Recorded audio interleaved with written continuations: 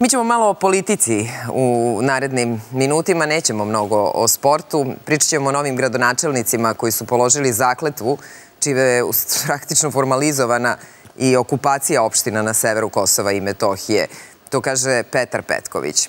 Oliver Varhej u poseti je Prištini. Ohridski dogovor, kako je naveo, što pre treba da bude sproveden, uključujući i formiranje zajednice srpskih opština. I peti dan je posebne sednice Republičkog parlamenta. Obeležila ga je žustra rasprava vlasti i opozicije. I to će nam biti jedna od tema. I možda tema koja nam je među najvažnijima jeste Amber Alert koji će biti u upotrebi najkasnije do početka novembra. To su rekli u Ministarstvu unutrašnjih poslova. Sve su to teme koje ćemo u narednim minutima našeg programa da komentarišemo sa Zoranom Anđelkovićem, on je nekadašnji predsjednik izvršnog veća Kosova i Metohije i Vladimirom Radomirovićem, glavnim i odgovornim urednikom Pištaljke.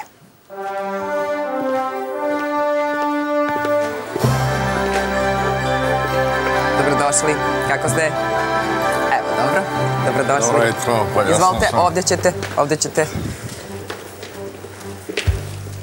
Šta je za vas? Evo, gledamo naslovne strane. Šta je za vas važno i šta biste voleli da vas neko pita? Evo, dajte mi temu za razgovor. Šta biste vi rekli? Prva tema za danas je koja?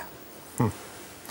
Pa mi se još oporavljamo od ovog šoka ovaj, zbog ova dva masovna ubistva, tako da mislim da se nedovoljno u medijima pisalo žrtvama, mhm. pogotovo žrtvama u Mladenovcu. Sve su to uglavnom deca, mladi ljudi, strašne tragedije i mislim da žao mi je što u medijima nije bilo više informacije o njima. Gotovo da sve znamo o ubicama, a o žrtvama vrlo malo. Tako je, da. Čak sam ja e, gledala, dakle, mi u stvari potpuno nepripremljeni, kad kažem nepripremljeni, mislim na medije, kako se ponašati u ovim situacijama. Imali smo čak i ah. preporuke na tu temu, ali vidimo recimo Reuters, e, dok se Srbija razmišljala da li pustiti imena žrtava u onim prvim danima, da li pustiti fotografije žrtava, da se prosto i porodica ne oseti ja pretpostavljam, ne radim u pisanim medijima, ali pretpostavljam da su i razmišljale kolege da li puštati fotografije ubijene dece. Za to vreme, recimo, Reuters je napravio E, mini film o njima i rekao ovo su žrtve, njih ne treba, njih ne treba zaboraviti. I u stvari je preporuka svih, pričajte o žrtvama, preporuka koja dolazi iz inostranstva, a marginalizujte ubice u mediji. Tako je. Ovaj, I zaista ovaj, čudno ponašanje naših medija. Ja ovaj, već dugo nisam u tim većim medijima i mi imamo neku svoju nišu u kojoj radimo, mislim na pištaljku, ali eh, da sam u nekom većem mediju, sigurno bi fokus moj kao urednika bio na žrtvama. Eh, sva na deci iz Ribnikara. Da, tako je. I mladim ljudima iz Mladenovca.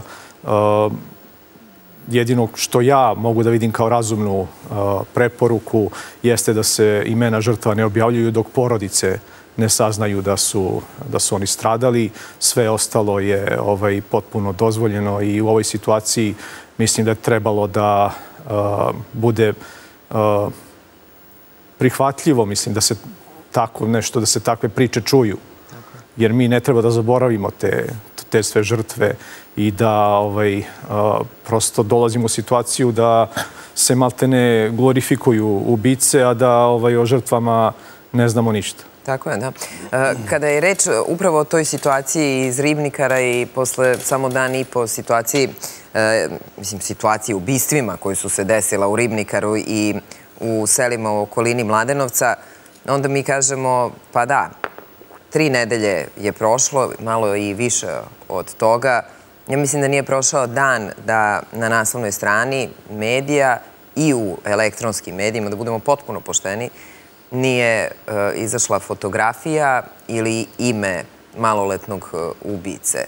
Šta to govori o nama? Da li to govori ako smo stalno opravdanje za svoje teme u medijima nalazili u tome pa neko klikće ili to je najveći rejting, da li to znači da nas to najviše interesuje? Dakle, da čujemo šta će biti sa ovim dečakom iz naše znatiželje ili iz potencijalnog straha za bezbednost?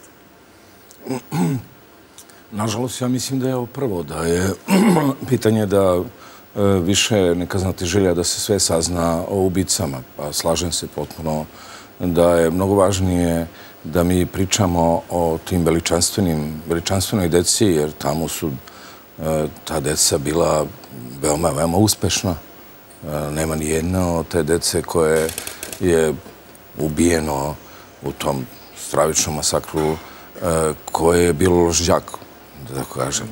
E, sve su to neki potencijali. Ta jedna malo 13 godine je svirala klavir, došla je tu kod drugarice, nije, nije uopšte čak ni bila e, što bi rekli, nije, nije imala potrebu da bude e, u, sa drugaricom koja je bila dežurna, nije to njen bio red. Ali mi imamo jedan e, problem u tome da se stalno plašimo šta će neko drugi da kaže kada se bavimo žrtvama. Vi znate, prvih dana već je bilo ko je objavio inicijale, ko je objavio e, ko, su, ko su žrtve, a onda se svi povuku, naprave, ako mogu tako da kažem, e, svi u medijima, mi e, napravimo autocenzuru e, sami prema sebi, da ne bi nam neko prigovorio da, eto, mi na neki način se bavimo ili e, objavljujemo imena, ili jer kad objaviš o nekom detetu nešto, bez obzira da ono bilo iz Malogorošija, Duboke ili Ribnikara, onda ispada da ti objavljuješ ime E, tog, te, te žrtve. vas interesuje šta je majka juče rekla na tom saslušanju? Ma mene ne interesuje šta je majka. Majka će uvijek da kaže, vidio sam naslovnu stranu, sad mene je to e, očekivano, ali i mene više interesuje šta je majka e, žrtve Kobljanski rekla. Ona je u stvari objasnila sve. Ona je napisala jedan sjajan tekst koji je poslala roditeljima ovog malog monstruma. I onda smo juče imali saopštenje kratku nekoliko rečenica e, porodice Kecmanović? Pa, možemo da imamo mi njihovo saopštenje šta hoćete, ali gledajte, ova majka je objasnila u stvari ono što e, je suština e, da vi možete da imate, mi niko ne kaže da taj mali nije bio, Eh, ako mogu tako da kažem, pametan, da nije bio dobar džak u smislu znanja. I ovdje mi ne razgovaramo o njegovom znanju, mi razgovaramo o njegovom monstruoznom e, postupku i o tome da, kako Majka Kobljanski kaže, da je on sedam dana i pored toga što ima sobu, što ima dvokrevetnu sobu u hotelu, spava e, u hotelju i da to nije bilo e, znak upozorenja roditeljima. Gledajte, ja da budem iskren, ovih dana čovjek, naravno, o toj temi razgovara sa raznim ljudima. Sa svima, da, svi razgovaraju. Jeste, sa svima, različitim strukturama, ako mogu tako da kažem. E, I mene je, e, imam jedan osjećaj da čak i nastavnici imaju problem da kad su roditelji mnogo uspešni, da upozoravaju, a i psiholozi, da upozorave te uspešne roditelje na probleme koje njihovo dete ima.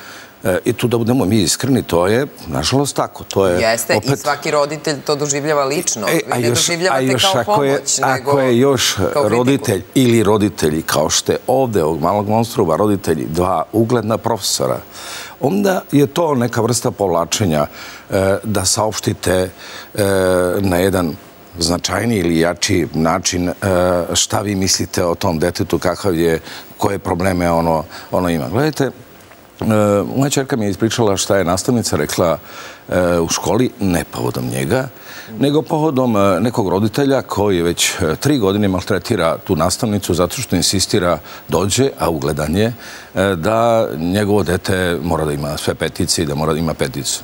Kad su pitali nastavnicu zašto to ne prijaviš, kaže, znate šta, ja mogu da prijavim, a onda mogu da imam problem na ulici.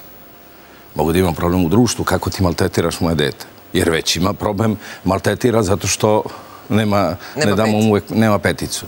Vratome, mi moramo da se bavimo ovde ne samo, naravno, pre svega žrtvama i njihovom potencijalu uspeha, ali i zaštiti nastavnika i prava nastavnika da saopšti istinu. Ma prava svakoga od nas da ima svoje mišljenje i da, da zbog tog mišljenja... I da zbog tog mišljenja ne bude na stubu srama, da bude prozvan, da odmah bude e, napadnut, da mu se nađe odmah neki način da, e, da, ga, da ga prokažu, da mu nađu nešto drugo, da ga napadnu, eto, nisi se lepo, nastavnik se nije lepo obuko ili nije lepo ušao u učionicu, samo zato što je rekao istinu o nekom, o nekom detetu. Da, da se vrati autoritet nastavnicima. Ja sam, ovaj, mi smo sa Pištaljkom nedavno imali jedno predavanje na Kriminalističko-policijskom univerzitetu i studenti su, kada smo mi ulazili u učionicu, ustali i to je to nešto što nisam video godinama, dakle ne i decenijama ovaj, u našem školstvu. To mora da se vrati kada ovaj, nastavnik ulazi u učionicu, učenici treba da ustanu i to je izraz poštovanja i datle sve kreće. A toga više nema? Pa, nema. Uglavnom nema. Stvarno nema? Da. Ne ustaju kada se ulazi u razred? Uglavnom nema. Drže telefone na stolu. Sad mi kažu iz režije, roditelji ne ustaju, da. Ne ustaju, naravno. Uglavnom ne i drže telefone na stolu i tako. Niko im ništa ne sme kaže. Ja vam kažem zbog čega. Zato što se i ti, slažem se potpuno sa gospodinom Radmilovićem, e, znate, e, toliko je ta priča o zaštiti e, prava da ispada da jedino prava nemaju nemaju dobrom delom se gubi pravo i roditelja da kaže nešto deci, a tek kad je reč o prosvetnim radnicima, kad je reč o učiteljima, nastavnicima, profesorima, E, u školi. E, I svaki pokušaj, ako mogu tako da kažem, kažnjavanja, ispada da je dete u pravu. Da se podsjetimo na Razumete? Podsjećamo se mi stalno pa, na trstenik, pa ali sve je bilo sa trstenikom na kraju. Pa vratilo se dete u školu. Ma vratilo se i dete i, e, kako se zove, vratila se učiteljica posle pa tri meseca. Ali, e, ali kako je ona situacija? Dakle, nikom zbog papirološke, dete se vratilo zbog papirološkog propusta. Pa nikom ništa. Ja znam kako je moja supruga kao bivši prosvjetni radnik i ja sam razgovarao telefonom je nešto Banet, ministar, zvao, ali moja supaka ne može da prećuti i kaže, jel će da istirate ovo deti škole ili neće? Znate, a sad Bane krene, prosvetni inspektori, pa će oni to da utvrde, pa ima procedura. Ma kaže, to mene ne interesuje, jel će da se on vraća u školu ili neće? Ako se vrati u školu, zaboravite vi e, autoritet prosvetnih, e, prosvetnih radnika. I znate, i sad svi onda se bave kako taj mali mora se vrati u školu, ništa mi ne znam, dete nije, nije poenta o njemu. I kako mora da završi školu? Pa ko kaže da svako mora da završi neku srednju školu? Pa po zakonu. Pa ne, po zakonu kaže da svaku srednju školu mora da završi.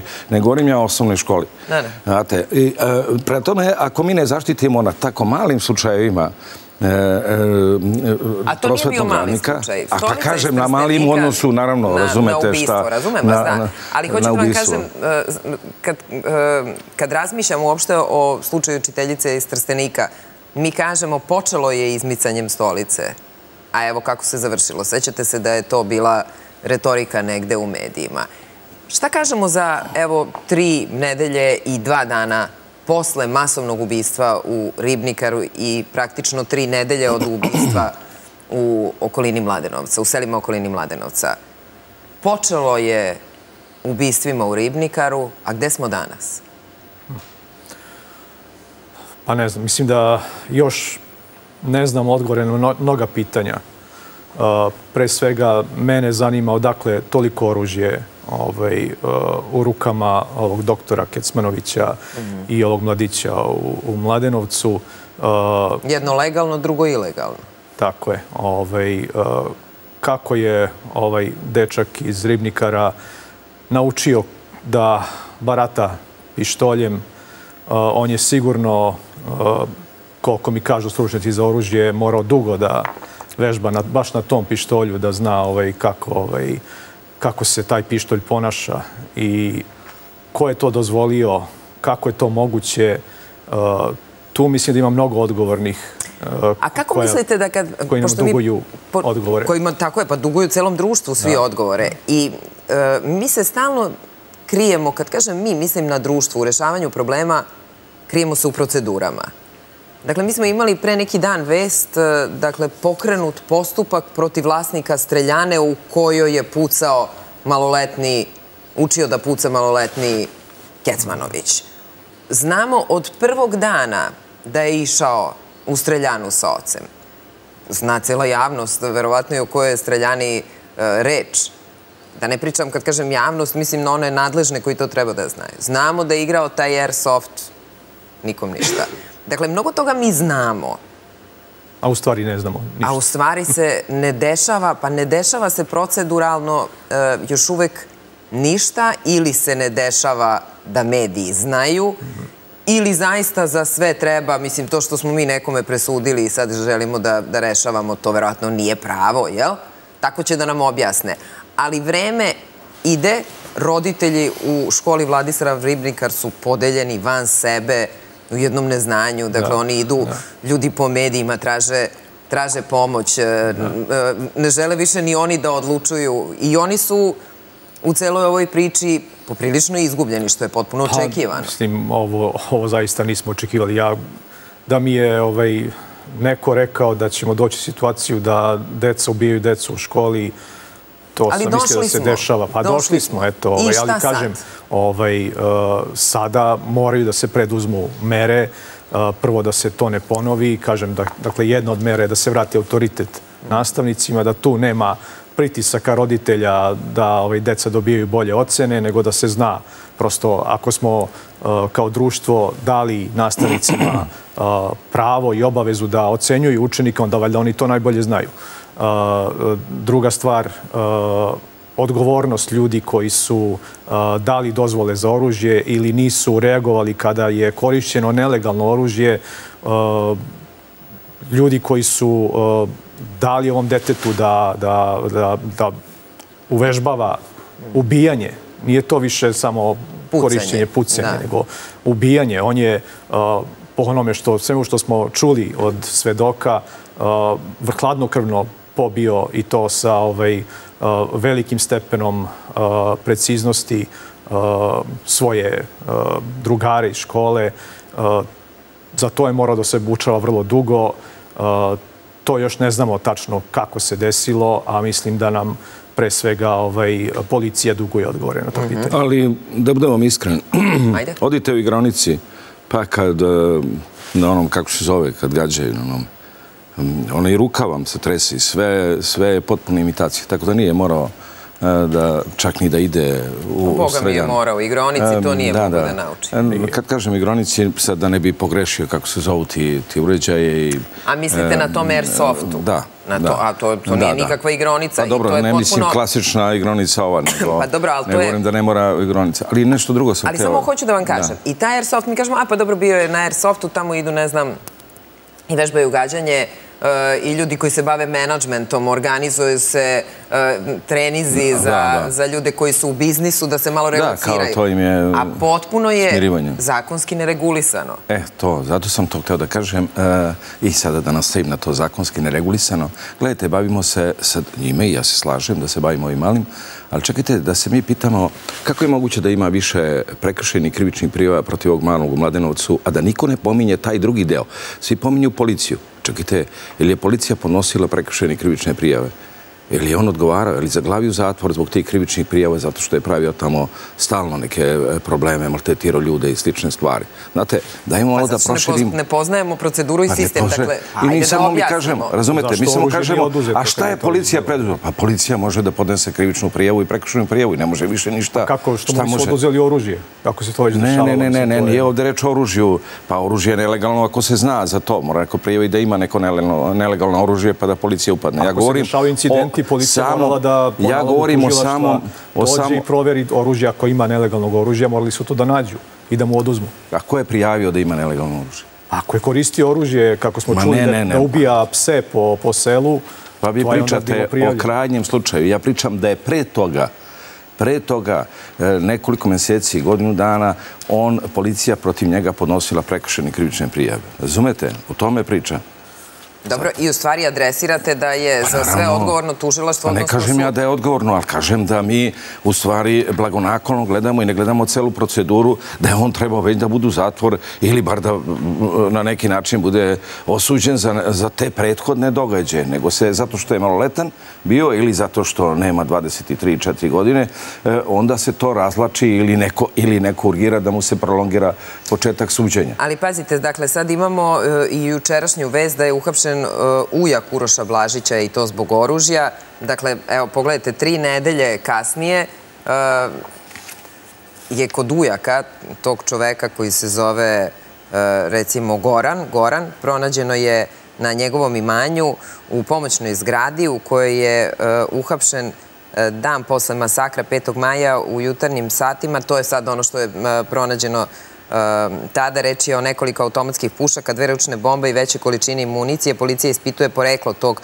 oružja. Očekuje se da Goran to otkrije danas na saslušanju. Aha, oružje je pronađeno odmah, ali on je uhapšen e, e, kasnije. Dakle, e, Uroš Blažić je, dakle, samo da vas podsjetimo sve, e, krenuo je iz Malog Orašja, pa je ubio bez ikakvog e, povoda Marka, zatim Lazara i njegovog rođaka Aleksandra, kao i Nemanjo Eh, Stevanovića i malog Nikolu. Još šestoro mladih je teško ranio i onda ide u Dubonu gde ranjava četvoricu muškaraca koji su popravljali kapiju. Onda je 500 metara dalje u školskom dvorištu likvidirao eh, Dalibora kao i policajca Milana Panića i njegovu sestru e, Kristinu. I onda je e, onda je krenulo e, potera i uhapšten je u kući svog ujaka. Dakle, kako sad, eh, kako se sad zadovoljava pravda u ovim slučajima? Znate šta, nekoliko ljudi je prošloši kroz eh, ovaj studio reklo imamo situacije u Americi, u Americi se zna, policija tamo kada dođe po prijavi da neko puca, odmah likvidira pucača. Dakle, eh, tu nema razmišljanja mnogo. Eh, mi danas se bavimo, eh, ovo sve kažem zato što mi nije bilo jasno zašto to ljudi pričaju. I onda oni kažu zato što su to momenti, rađam se na početak, kada se bavite žrtvama, vas više taj koji je pobio te ljude u tržnim centrima, školama, više vas ne interesuje. Vi se kao društvo okrećete priči o žrtvama i za vas su ubice NN lica. E, za nas ubice nisu NN lica. Za nas je jedan ubica taj Uroš Blažić, za e, drugi ubica je Kosta e, Kecmanović. Dakle, naše ubice, ubice dece u Srbiji imaju svoje ime, imaju svoje mesto u medijima. Kako se taj krug zatvara, da prestanemo, jel se mi ubica plašimo i kako, na koji način da prevaziđemo ovu situaciju u kojoj se mi nalazimo, gde danima pričamo da li će taj dečak izaći iz bolnice ili neće. Da li će ovaj uroš dobiti posle 15 godina mogućnost za pomilovanje i rani izlazak iz zatvora? Pa i 20 ako dobije, šta je to 40 i nešto godini, to je mlačove. Da. I ovde je isto pitanje ovaj, odgovornosti roditelja koji su ovaj, uh, obojici dali oružje u ruke i ovaj, doprineli ovome što se uh, dogodilo. Uh, tako da mora se naći način pravni način da i roditelji odgovaraju za ovo što se desilo. Je li ovde važno pravo ili pravda? Pa ja mislim da nema pravde bez prava i prava bez pravde. Pa ne kažu advokati. Ovaj, pa advokati kažu svašta. Mi ovaj, u Pišteci radimo sa advokatima i uh, insistiramo na pravdi. Uh, pravo je način da se dođe do pravde. Uh, I ako se koristi, mi imamo razne propise. Naravno, nije moguće predvidjeti svaki ovaj, svaku životnu situaciju zakonom, ali postoje propisi koji mogu da se koriste u ovim slučajevima i koji će dovesti bar do neke satisfakcije ljudima koji su izgubili svoje najmilije. Ja se nadam da će ovde više da e, reaguje ova druga struka nego pravna. A ta struka e, ne verujem da će iko imati hrabrosti da potpiše da su oni e, normalne osobe.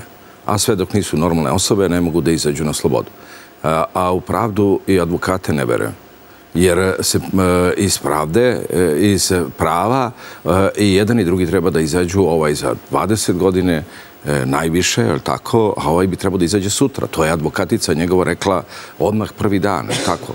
Ne vodeći račun o žrtva. Um, Prema tome, ovde se više oslanjam, da tako kažem, na ovu drugu struku, na psihologe e, e, koji treba, neko treba da potpiše da je on mentalno e, sposoban da izađe na ulicu, a ja se nadam da se neće desiti nikada da neko potpiše da su oni mentalno sposobni da izađu na ulicu. Jer onaj ko ubije toliko ljudi, on ne može da jednostavno nije logično da bude bilo kada mentalno sposoban da se šeta ulicom. To je e. jedna stvar. I druga stvar, izvinite, samo moram da kažem da se mi ne bavimo malo i onima koji postiču da se tako nešto desi.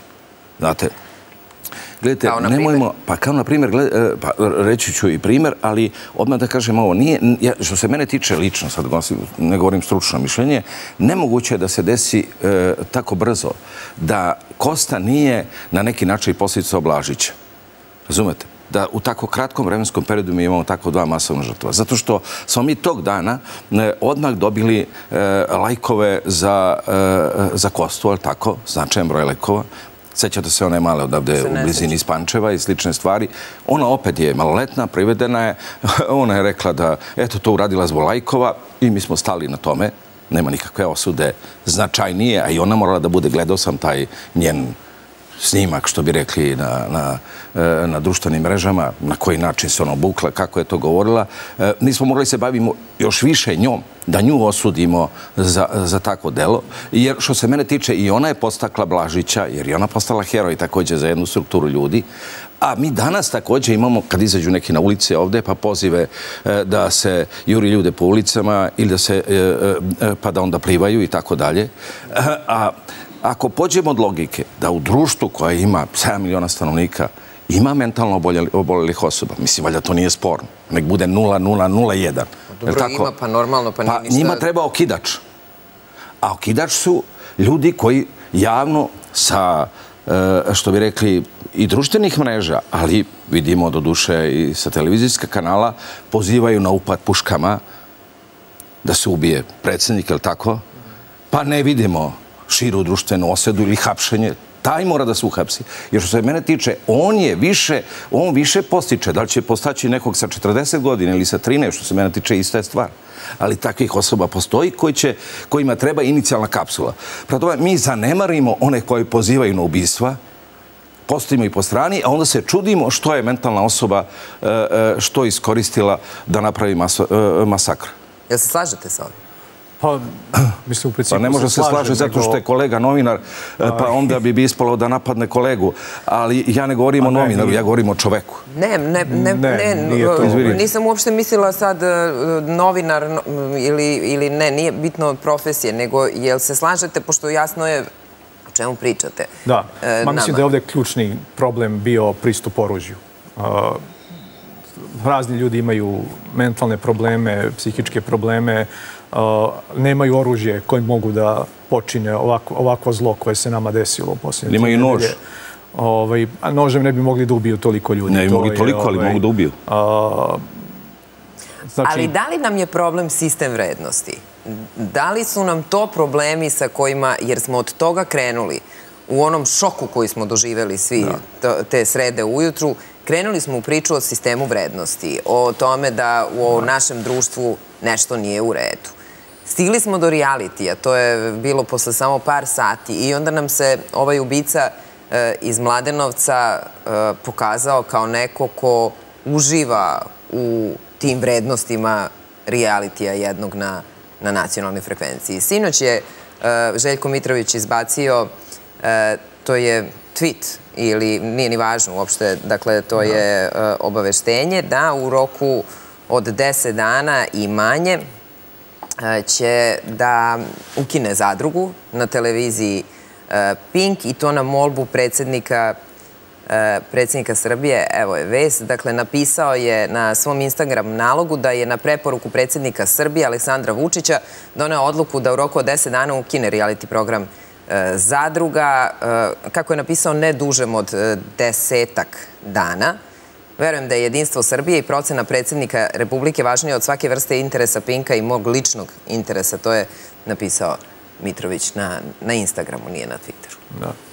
Ovaj, pa ja već godinama sam govorio da e, takvim programima nije mesto ovaj, u tokom dana. E, to možda se emituje posle 11 uveče ili na e, šifrovanom kablovskom kanalu, a A smo završili sad sve probleme? Ma ne, kakvi. Nije, mislim, ne može se kriviti bilo koji reality za, za ovo što se desilo. To je, mislim, stvarno ovaj, besmisleno. Ovaj, pa ne krivi se reality za ovo što se desilo, ali da li se slažete sa tim da je reality uh, izbacio u prvi plan neke nove junake, neke junake za koje, uh, recimo, mi ne želimo da budu naši junaci?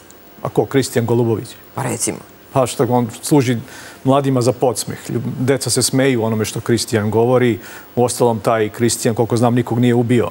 Ovaj, da bi neko sad mogao na, na osnovu ovaj, nekih njegovih ovaj, prethodnih iskustava da kaže, eto sad, on je moj idol, hoću da ubijem ne znam koliko ljudi kao kristijan. Tako da, ovaj, kažem, ovdje je ključni problem pristup oružju i ono što smo, s čime smo počeli, ovaj, poratak autoriteta nastavnika, psihologa, psihijatara, roditelja, ali mi imate situaciju da, vi ste već pominjali, da se nastavnici boje roditelja ili ovaj, čekaju neke usluge od roditelja koji su na nekim pozicijama i onda ne prijavljuju. Sad čujemo eto to da taj mali ovaj, ubica ovaj, proveo sedam dana spavajući u fotelji, da kako je moguće da to niko nije prijavio, da nije vidio da to dete ima mentalne probleme, da se odmah reaguje, a to opet dolazimo do toga da eh, je autoritet nastavnika urušen, i, a od toga kreće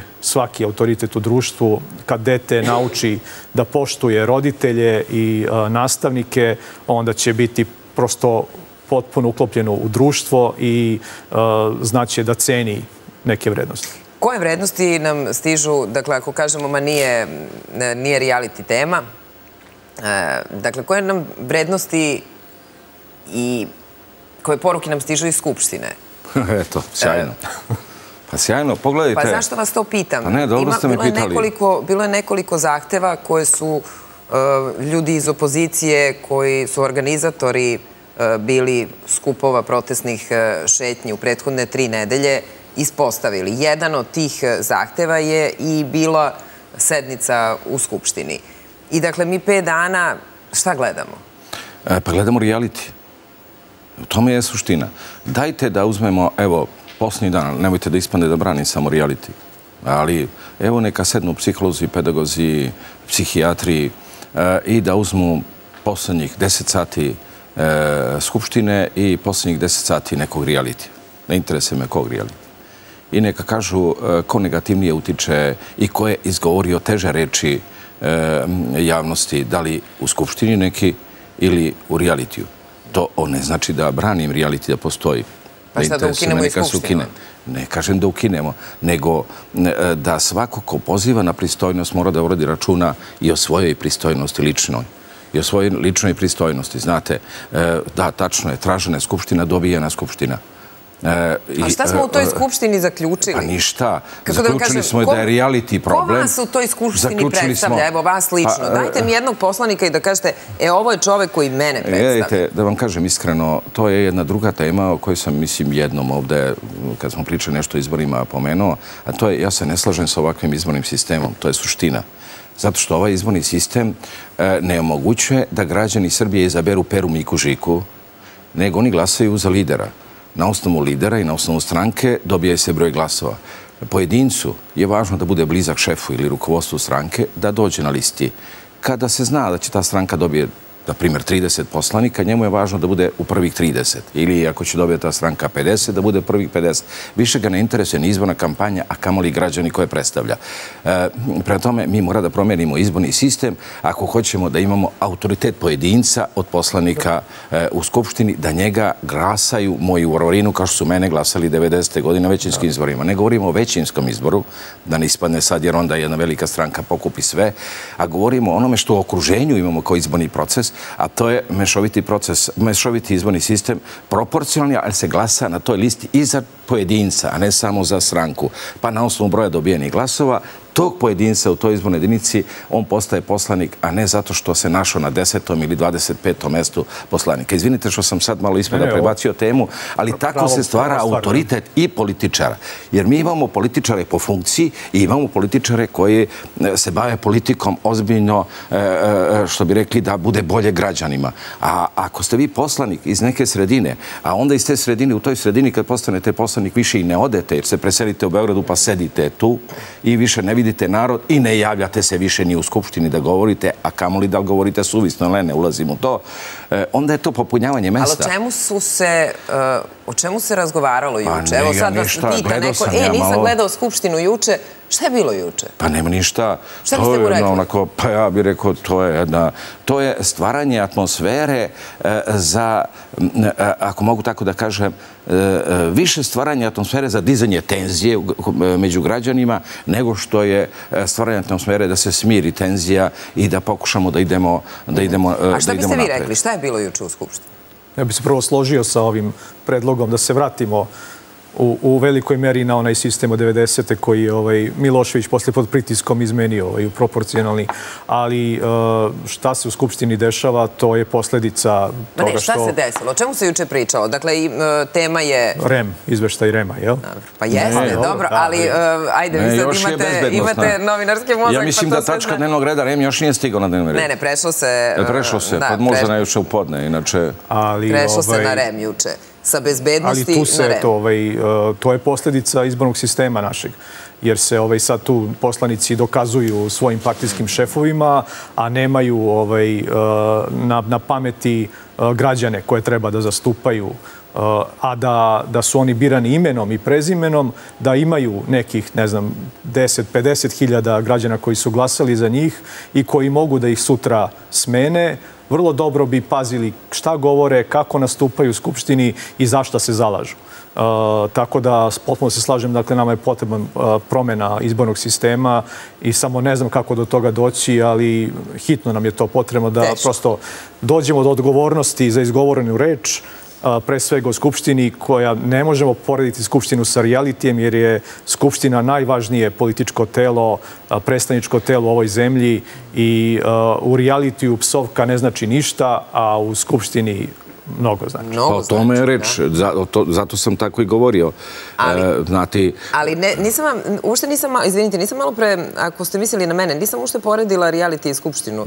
Naprotiv, pitala sam vas, ako smo se okupili oko najvažnije teme, a to je bezbednost, ne mi, nego ako su se u skupštini okupili, ako su se desile dve tragedije, zar ne treba, mislim, to, to neko će reći, ma ta, to, to, to se nikad neće desiti, ali zar ne treba da se stvarno smire smire strasti. Ovde su naravno, strasti da. toliko uzavrele. Ovo je, ovo je jedna opšte ludilo u poslednjih deset Sad dana na društvenim mrežama, u jači, Skupštini, da. tako je. Dakle, mi imamo jedno nadgornjavanje koje vodi samo svađama. Mi smo sve više i više posvađani uh, u društvu. I sad više, kako da vam kažem, tolika je nervoza da i u privatnim razgovorima kad pričate, a to, to misliš, nisi u pravu, za koga si, gde smo, gde smo došli Da, sjajno, za od teme, si. od teme bezbednosti. Da. Čini mi se da o bezbednosti ne priča. Ne, Priča neko o bezbednosti e, ljudi koji recimo izlaze da šetaju. Jel pričamo o bezbednosti ljudi koji će danas e, biti na, na ovom skupu e, u organizaciji SNS? O bezbednosti ljudi koji će ju, e, sutra e, biti, biti u šetnji. O bezbednosti ljudi koji su bili juče na litijama. Dakle, mi ne pričamo o, o bezbednosti. naših građana Kosovo i Metohiji. To, Šta o se tome tek da ne tamo pričamo. dešava, Tako ono, je. kako je, ovaj, se tamo nasilje sprovodi nad, nad Srbima i nad drugim ovaj, zajednicama koje, koje nisu albanske. Ovaj, pa ostalom, ovaj, eh, da li ono što se dešava na Kosovu demokratija, kako je hvale zapadni političari i mediji, ne bih rekao. A, I Freedom House. Ma, uvek, znači, zadnjih godina na svim tim uh, lestvicama slobode medija, demokratije, Kosovo ljudskih raste. prava, Kosovo raste, to je neverovatno. A mi stagniramo. A, ovaj, da, i- ili, ili padamo, ali ovaj, uh, mi dobro znamo kakva je tamo situacija i nemoguće da to na zapadu isto ne vide, ali oni su rešili da pošto poto podržavaju ovaj, uh, tu kvazi državu i da ovaj, uh, unižavaju ono što Srbija postiže, a ali s druge strane, A šta ako oni očekujete mogu kad ste da... se već preselili na tu temu, ali vratit ću vas i na temu e, današnjeg dana, e, pošto želim da Dobro, i pričamo to o je tome. pitanje za Skupštinu. Zašto se ne raspravlja o tome?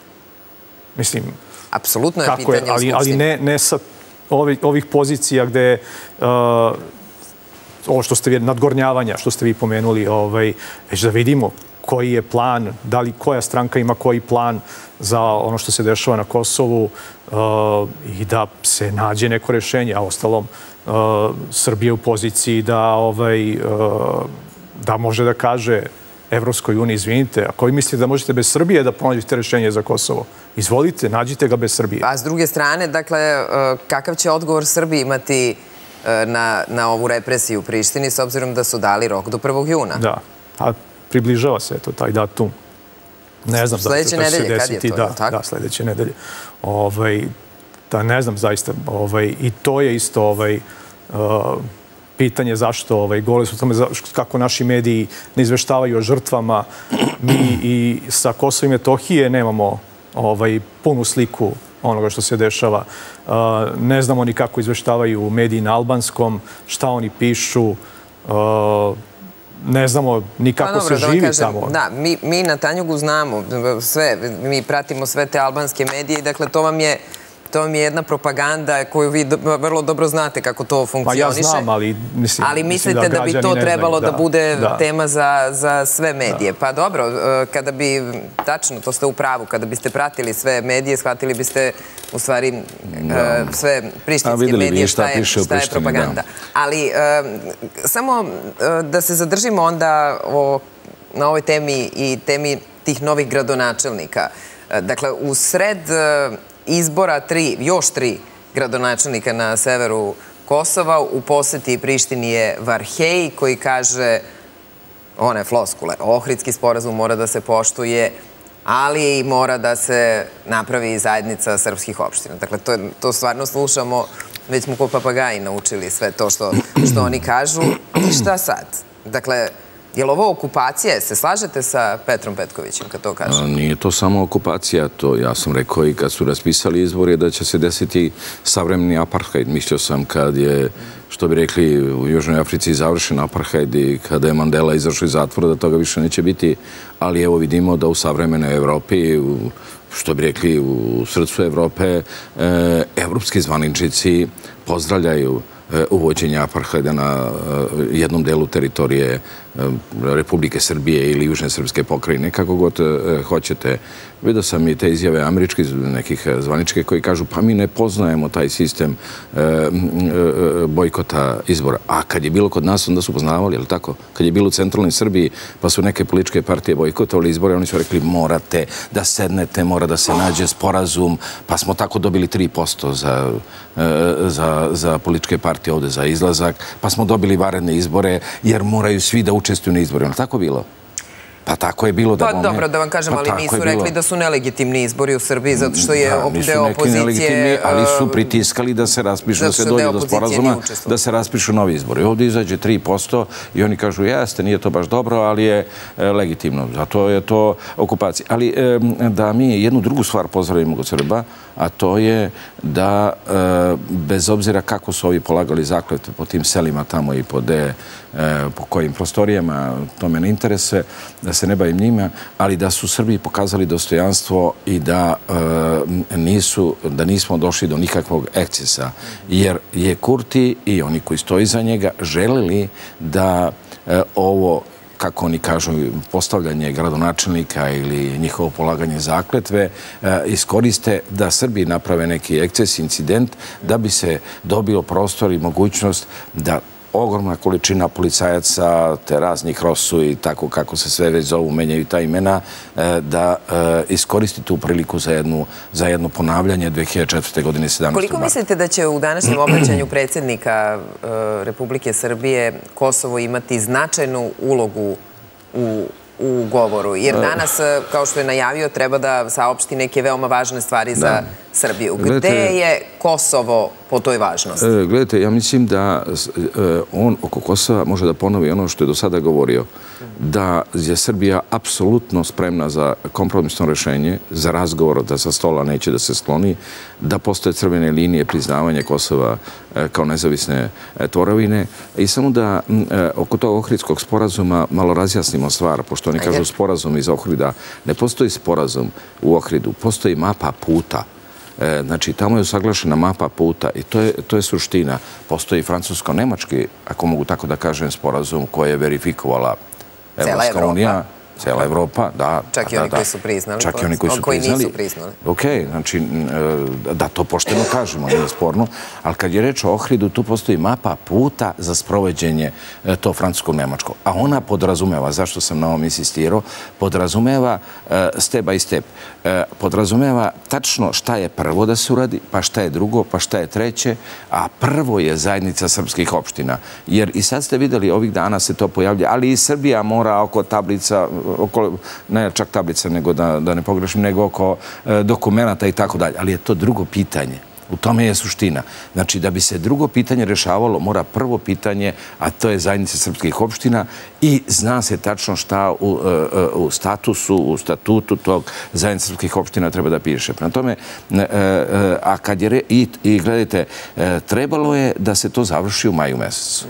E, tako je bio proces. Ja sam potpuno siguran da to udvaranje e, Prištini je bilo i ovo e, primanje kandidature za Savet Evrope i e, bezvizni režim e, 1. januara 2004. godine. Ali, znači, ni to udvaranje, jer oni se udvaraju već 20 godina, i to udvaranje Evrope i Amerike Prištini nije dovelo do toga da Kurti prihvati da se formira, da se formira zajednica srpskih opština. E, e, prema tome, e, ja, ako se nastavi tako dalje udvaranje, ja moram to tu reći da upotrebim e, Prištini, mi nećemo se dalje odmaći, Dobro, a šta ćemo, nažalost, od ovoga. šta ćemo 1. juna? Šta će Srbi 1. juna? Kako Pa vi ja- razumete poruku Srba za 1. jun? E, e, Pa gledajte, ja, ja se nadam da e, mi smo, Srbi su probali sa barikadama na severu Kosova i, nažalost, te demonstracije Srba sa barikadama, jer to su demonstracije, su proglašene nasilnim, ili tako e, e, svi ovi sponzori Prištine e, su to osudili. Znači, Srbi nemaju pravo ni da demonstriraju. E, tako da to, da e, se otvori neki sukob e, na severu Kosova, da ga Srbi proizvedu, ja se nadam da neće biti, ali može biti da se potpuno bojkotuje, da svi Srbi na Kosovo, ne samo severa, potpuno bojkotuju sve ono što predstavlja Priština na bilo koji način. E, I da mi napravimo paralelan život potpuno e, nealbanskog življa ili e, srpske zajednice na Kosovo i Metohiji, koje će živjeti paralelan život dok se ne reši pitanje ne samo zajednice srpskih opština, nego pre svega bezbednosti Srba na, severu, na Kosovo i Metohiji. Da. Sve u svemu, e, da se vratimo na današnji dan, e, dakle, da i vas pitam, šta očekujete? Biće četiri govornika na skupu e, koji je najavljen za 19 časova, kaže... Četiri ili pet. Četiri ili pet, jel? A ko je peti? Pa ne znam ja, nisam rekao imenima, ja samo sam rekao da, mislim da će Da, biti dakle, kaže, e, piše e, da će biti predsjednik e, Srbije, Aleksandar Vučić, dakle, Ivica Dačić, predsjednik SPS-a, ministar spoljnih i ministar spoljnih poslova, dakle, Petar Sijarto, mađarski šef diplom- diplomatije i Milorad Dodik. Ko je peti? Ne znam stvarno ko je peti, samo sam čuo da je pet. Dobro. Pa jel Možda do- neko sa Kosova. je? Domaća strana? No domaće, domaće. Domaća, aha, dobro. Dobro. Dobro. Imate ekskluzivu. Da, pa očigledno je nemam. da, ali e, šta vi očekujete od današnjeg dana? Uh, Pa očekujem da zaista dođe tu puno ljudi. Ja sam se ovdje kod vas više puta pokazao kao loš prognozer, ali ovaj, sigurno će biti ovaj, uh, veliki broj građana. Uh, Očekujem te poruke jedinstva, šta drugo mogu da očekujem. Nadam se da će se prestati sa ovaj, podelama i da ovaj, će sa tog skupa doći poruka da uh, posle ovih tragedija uh, treba da budemo uh, zajedno i da pronađemo način da se izborimo sa tom traumom i da Ali uh, mislite da smo na ojačamo- putu zajedništva? Čini mi se da nismo, ovaj, eh, i dalje su podele velike, ali eh, važno je da eh, najviši funkcioneri ove države stalno šalju poruke da je važno jedinstvo i da se vlast menja na izborima, a ne na ulici. To su zaista ovaj, važne poruke, ali nažalost iz te strane dolaze, videli smo u Skupštini, ovaj, neke ovaj, izjave koje nisu primerene ovaj, tim pozivima na jedinstvo, tako da očekujem da se ovaj, poslanici vladajućih stranaka ovaj, pridržavaju onoga što vrh države poručuje.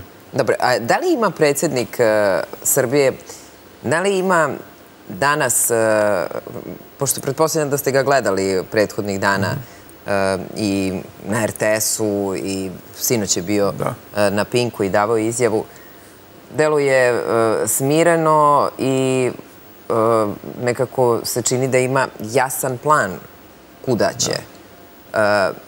Da. Li ima danas on lično, e, pitam vas, e, da li ima e, tu snagu i tu želju da napravi taj novi pokret koji će stvarno politički ujediniti Srbiju. Ne da bude jednoumlje, ne da budu istomišljenici, nego da bude jedan veliki front oko kojeg će se složiti i politički neistomišljenici, ali u želji da Srbiji bude bude dobro. Je li to moguće ili je to stvarno onako potpuno optimistično? Ja moram da priznam da meni ta ideja nije do kraja jasna. Ovaj, čemu bi taj pokret služio?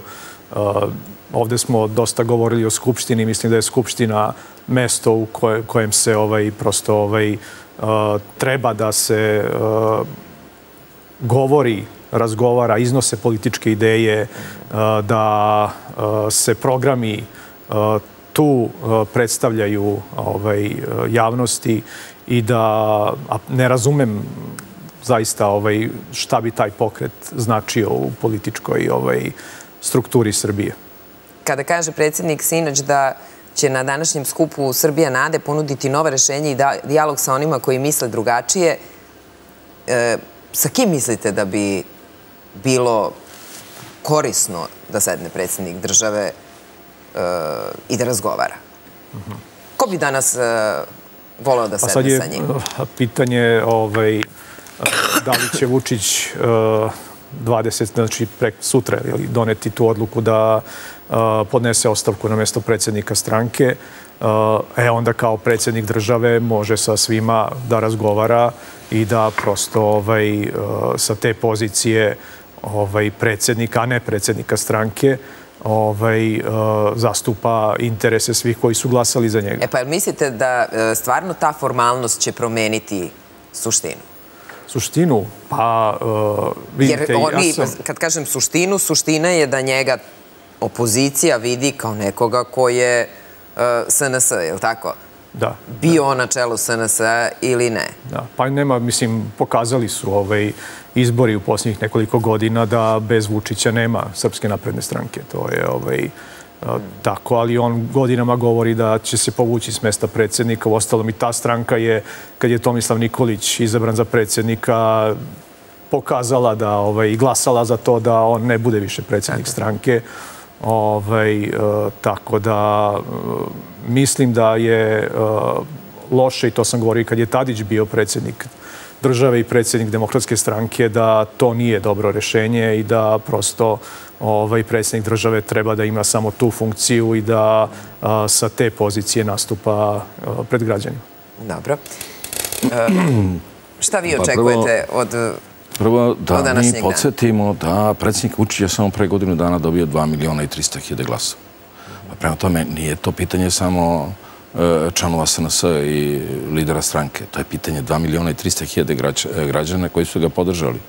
I kad se dovodi u pitanje i kad se otvora pitanje da li je ovo kontramiting i slično, pa neka dođe 10% od onih koji su ga, e, koji su ga zaokružili, ako mogu tako da kažem, i podržali da on bude predsjednik Srbije, to je 250.000 ljudi. Tako da e, to dođu ljudi da te podrže za ono za šta su te glasali, da sprovedeš e, politiku koju propagiraš i o kojoj svaki dan e, e, govoriš. Tako da nemam ja tu nikakve dileme.